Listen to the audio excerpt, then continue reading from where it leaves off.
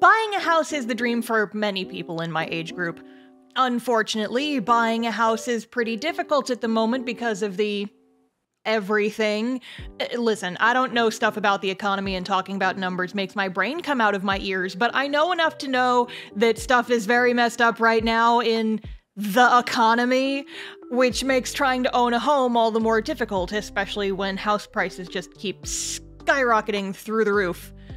But last year, I actually managed to buy my first house, which is pretty cool. And it was also one of the most agonizingly stressful things I've ever done in my life. It almost involved a lawsuit. So let's talk about it. But before we get into it, it's time for a real quick Hey Star, what you drawing? The art in the background of this video is for some AI the Somnium Files fan merch I made recently. I've gotten a bit obsessed with the game since I beat it back in January, so I wanted to make some stuff for it. Date and Mizuki acrylic charms and stickers are up in my store now, link is in the description, and I'll be adding some more characters once I finish the sequel. Anyway, back to the story. Our story begins in 2019. I just moved back to the States after spending the previous two years working as an English teacher overseas in Japan. My younger brother had finished college a few months before, and since neither of us had better options for roommates at the time and both wanted to move out of our parents' house, we ended up getting an apartment together. The rent on our shared apartment was surprisingly reasonable for Austin. And to be honest, when I saw the prices online, I thought it was going to be one of those too good to be true situations where the pictures made the apartments look way nicer than they actually were.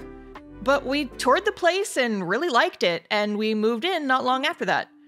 The apartment was spacious, had a dining room that I converted into my home office, the bedrooms were on opposite sides of the apartment so we wouldn't bother each other too much, and it had a nice spacious balcony where my brother could put all his plants. But, of course, the good things can't last forever, and eventually, something was bound to ruin it. Cut to the end of 2021. My brother and I had been living at this apartment for a little over two years, and because of the panini, our rent prices had stayed pretty much the same throughout that entire time. Also, he and I were planning on moving out in the spring. I needed more space for my business, and he would be finishing paramedic school soon and would need to move to a place closer to wherever he got a job. So, we were already planning on moving out probably around March or April. But then, at the end of November, the day before Thanksgiving, I got a phone call. Hello? Hello, this is your apartment's leasing office. I'm just calling to inform you that we'll be raising the price of your rent starting in March of next year. Sheesh, okay, how much is it going up by? Right. Well, you can either stay on your month to month lease or you can sign a one year lease, which will make your rent cheaper. Okay, so what are the actual numbers? Well, if you sign a one year lease, your rent will only increase by $600 a month. But if you'd like to stay on a month to month lease, your rent will go up by $800 per month. Oh, okay, That's all. Have a nice day. thanks, I won't. So, that sucked. We couldn't sign a year lease because, again, we were already planning on moving in just a few months. But now we were basically being priced out of our apartment and had to expedite our move out plans. And this made things complicated.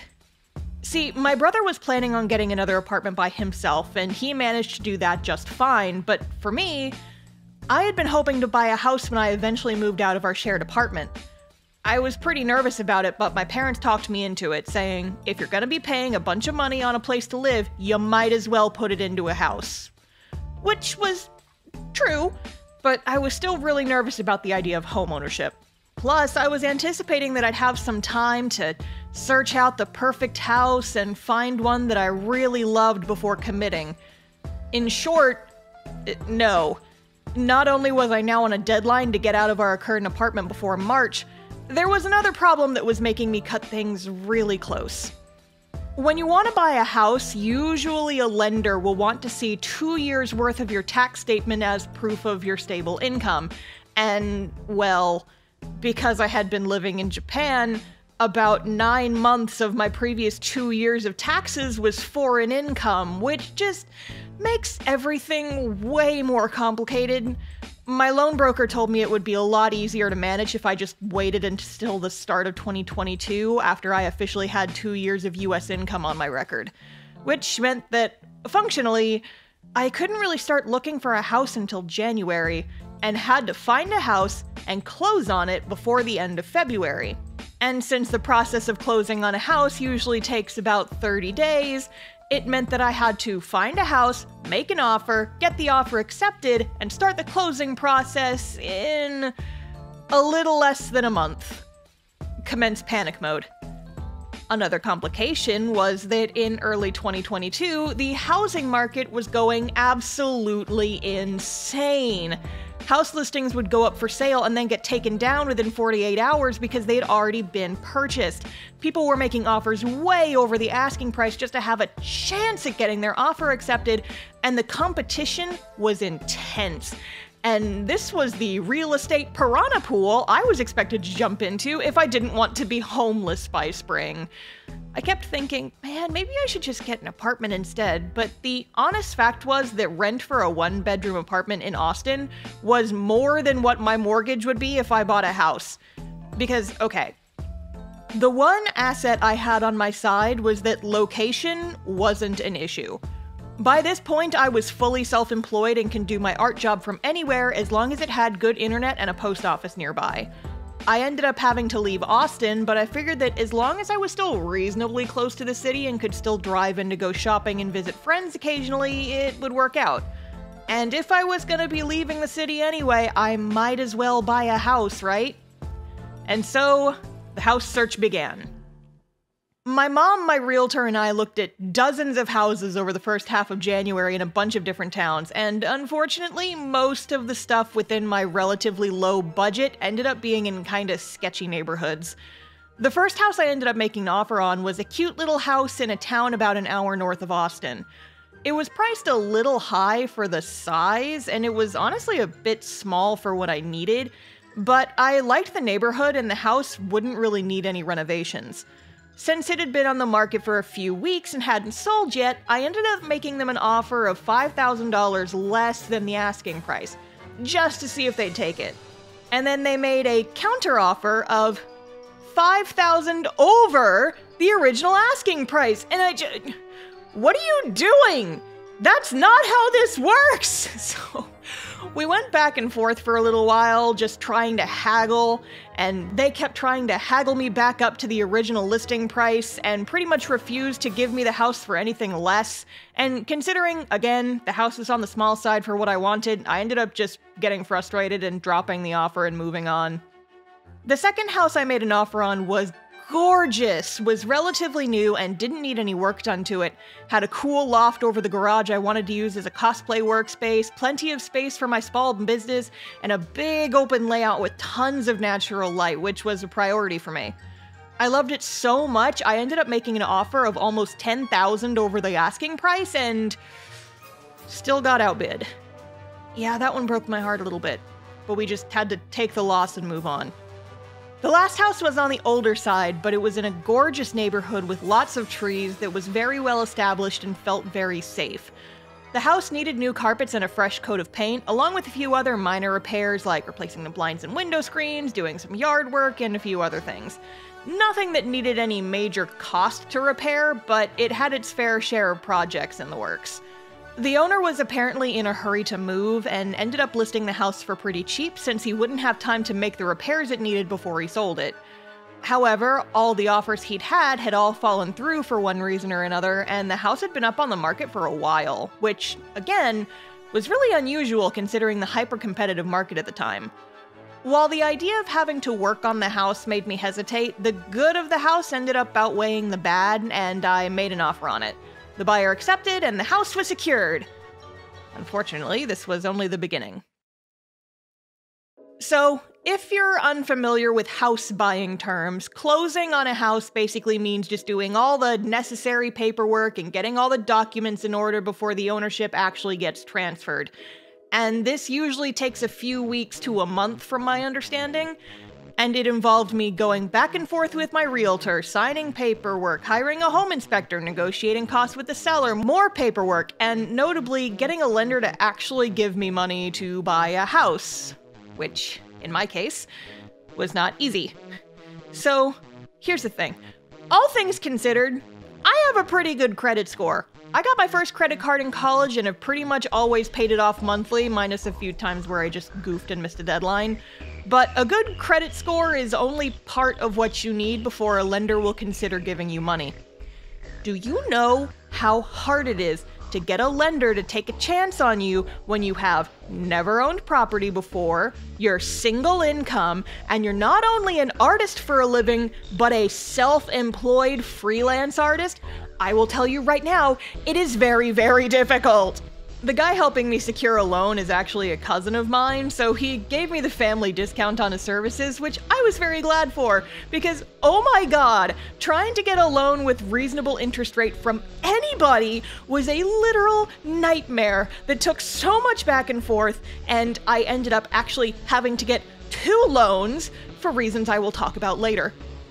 I had to get so much paperwork together. All of my bank statements for the last two years, all of my tax returns. I had to get my accountant to write multiple letters to lenders explaining that yes, I do actually own my business. I had to write a letter to a lender basically describing all of my different sources of income. Hell, at one point, I had a lengthy back and forth between my loan broker, my accountant, the lender, and myself because the lender didn't know what Kickstarter was, and I had to explain that no, Kickstarter is not the name of a loan shark. I just wrote a book in 2021 and ran a crowdfunding campaign to print it, and that yes, I did still have to pay taxes on my income from that project, and they kept asking me for a letter from my accountant confirming this, and my accountant just got so annoyed at them, and when they kept pushing, I basically just shoved my 1099 tax form from Kickstarter in their faces and said, please just Google what Kickstarter is, you idiots, before they finally left me alone. anyway, it was a nightmare and a half, but eventually I was able to sign a contract with a lender to get my home loan sorted. I had started packing up my side of the apartment, and despite the speed bumps, everything was finally coming together. Until it wasn't. About a week before closing date, the date that I would actually, you know, sign the paperwork and own the house, I got a call from my realtor with some very bad news. Apparently, the seller's realtor had found out during the closing process that there was a lien on the property. And if you know what a lien is, you know how bad that is. But if you're like me and don't know what a lien is, um, it is, according to the dictionary, a right to keep possession of property belonging to another person until a debt owed by that person is discharged. Let's say Bob owns a house. He hires a company to help with some renovations on his house, but for one reason or another, he doesn't pay them. The company can then put a lien on Bob's house that basically makes it so Bob legally can't sell the house until he pays the company for the work that they did. Which is bad when you are trying to buy a house from Bob and are supposed to close in less than a week. Apparently, the lien was put on the house because of a solar panel company that the seller, and screw it, I'm just gonna call the seller Bob from now on. Anyway, Bob apparently hired a company to put solar panels on the house, and the lien came from the solar panel company saying, pay us what you owe us, or you can't sell the house. Which was very odd, because the house doesn't have solar panels. Our best guess is that Bob tried to get solar panels at one point and then didn't, and then didn't pay the company anything because they didn't do anything. But I guess maybe he signed a contract and he still needed to pay them for something, Anyway, it all got very confusing and very dumb, and the solar company refused to lift the lien until they got paid, and Bob kept arguing that he doesn't owe them any money because they didn't do anything, and the whole thing dragged out so long that we had to delay the closing date by over a month. I ended up getting in some trouble with my original lender because we had to back out of the first loan because we missed the closing deadline, almost had to pay a huge fine that my loan broker was thankfully able to get us out of. And then we had to switch loan companies and go through the entire loan getting process again, which went more paperwork and more pestering my accountant and more explaining that no, I'm not a sugar baby. I run a damn business. Here's the receipts. Please let me buy a house. Uh. The worst part is that during the extra few weeks it took to get a new loan sorted out, interest rates went up by almost a whole percent.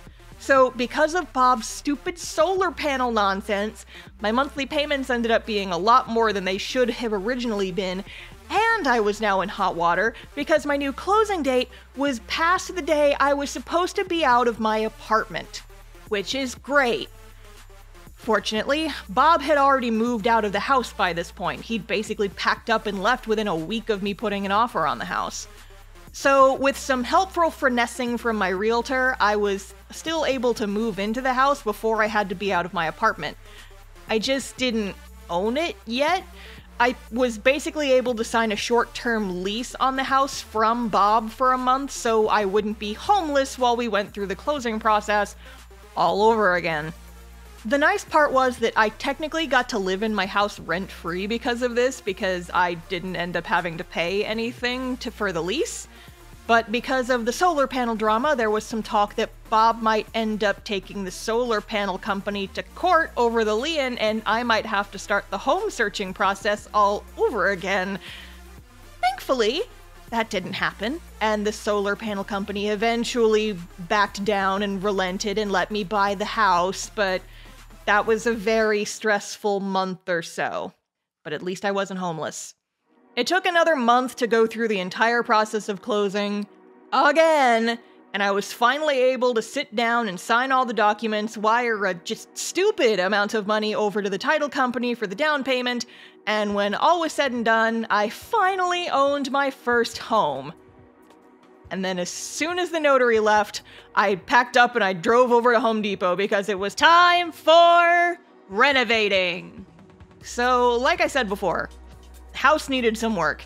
And seeing as I had just spent an entire month living there and hadn't been able to start on any renovations because I was basically still renting it, once the papers were signed, I was ready to get to work.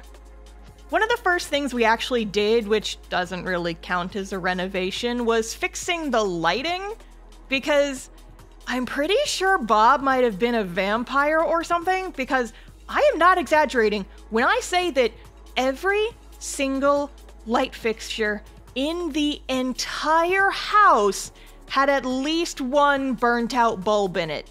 Every single one. We ended up replacing like 15 light bulbs the day I moved in, and some of them are still burnt out because the bulbs are weird and I don't use those lights very much anyway, so I haven't bothered hunting down replacements. The next thing to go were the carpets. Most of the house doesn't have them, but the few rooms that do have carpet, well, if you told me that the previous owner hadn't vacuumed for 10 years, I would have believed you.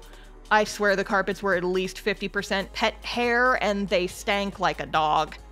I considered just getting them professionally cleaned, which would have been a lot cheaper, but I ultimately decided to just rip it all out and get some new carpets. But before the carpet was installed, my mom and I spent a few days giving all the carpeted rooms a fresh coat of paint. The paint in the bedrooms was all white, but each one was a slightly different shade of white, and there was one which was even like a pinkish white, which was really weird. So we wanted to get them all to the same base white that I could paint over later once I figured out what I wanted to do with those rooms. We didn't want to risk getting paint on the new carpet, so we rushed really quickly through painting all the rooms in about two days. We just squeaked by, and the paint was thankfully dry before the carpet guys came, and Oh man, you guys, I legitimately almost cried when I stepped on the new carpet for the first time. It's so plush and so soft, and it feels like walking on a cloud. I love it. but after all that was done, we still had more painting to do. The house has a fairly large kitchen and dining room, and, well, the kitchen and dining room were. Okay, I'm not gonna say what color they were because I don't wanna accidentally dox myself or anything, but it was an absolutely horrendous color that was simultaneously way too dark and also way too bright somehow. Every time I walked into that room, I could feel my life force being siphoned out of me. It was kind of terrible. So I painted it blue instead, and now it feels like a place where people can actually, you know, live.